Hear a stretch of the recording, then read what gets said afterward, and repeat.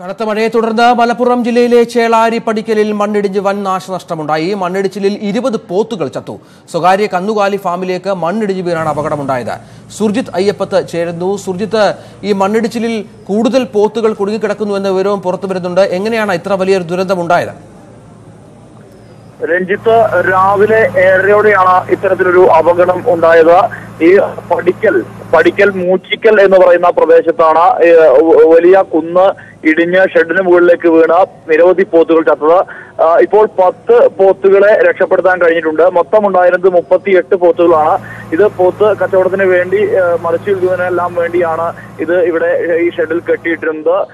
ഏതാനും വർഷങ്ങളായി ഇവിടെ ഈ കുന്നിന്റെ താഴെയായി ഒരു ഫാം പ്രവർത്തിക്കുന്നുണ്ട്. മൂച്ചിക്കൽ സ്വദേശിയായ ഷാഫി എന്നയാളുടെ ഉടമസ്ഥയിലുള്ള ഫാമാണ് ഉള്ളത്. ഈ ഫാമിന് മുകളിലേക്കാണ് മണ്ണ് ഇടിഞ്ഞു വീണത്. വലിയ പാറകൾ ഉൾപ്പെടെ ഈ മുകളിലേക്ക് ഇടിഞ്ഞു വീഴുകയായിരുന്നു. മുകളിൽ കുന്നിന് മുകളിൽ ഉണ്ടായിരുന്ന മരത്തിൽ നിന്നും മരങ്ങളും കടപുഴകി വീണിട്ടുണ്ട്. അതോടൊപ്പം തന്നെ നേരത്തെ ഇവിടെ മണ്ണെടുത്ത പ്രദേശമായിരുന്നു. മണ്ണ് ഖനനം ചെയ്ത പ്രദേശമായിരുന്നു.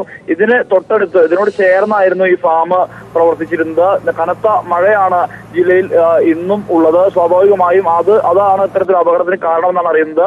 മൊത്തം മുപ്പത്തിയെട്ട് പോത്തുകൾ ഉണ്ടായിരുന്നു. അതിൽ പത്ത് പോത്തുകൾ മണ്ണിടിഞ്ഞ് വീണ് ചത്തിരിക്കുന്നു.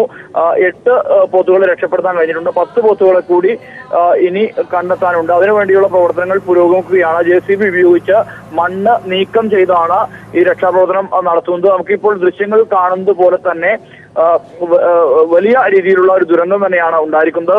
നാട്ടുകാരും ജനപ്രതിനിധികളും പോലീസും എല്ലാം ചേർന്നാണ് ബാക്കി പോത്തുകളെ പുറത്ത് എത്തിക്കാനുള്ള ശ്രമം നടത്തുന്നത്. ഇപ്പോൾ നിലവിൽ പത്ത് പോത്തുകൾ ഇവിടെ ചത്തിട്ടുണ്ട്. എന്തു തന്നെയായാലും വലിയ ദുരന്തം തന്നെയാണ് പടിക്കൽ ഉണ്ടായിരിക്കുന്നത്. വലിയ രീതിയിൽ നേരത്തെയും അപകട സാധ്യതയുള്ള ഒരു മേഖലയിലാണ് കാരണം കുന്നിന്റെ കുന്നിന്റെ മണ്ണ് ഇടിച്ച ഭാഗത്തായിരുന്നു ഫാം പ്രവർത്തിച്ചിരുന്നത്.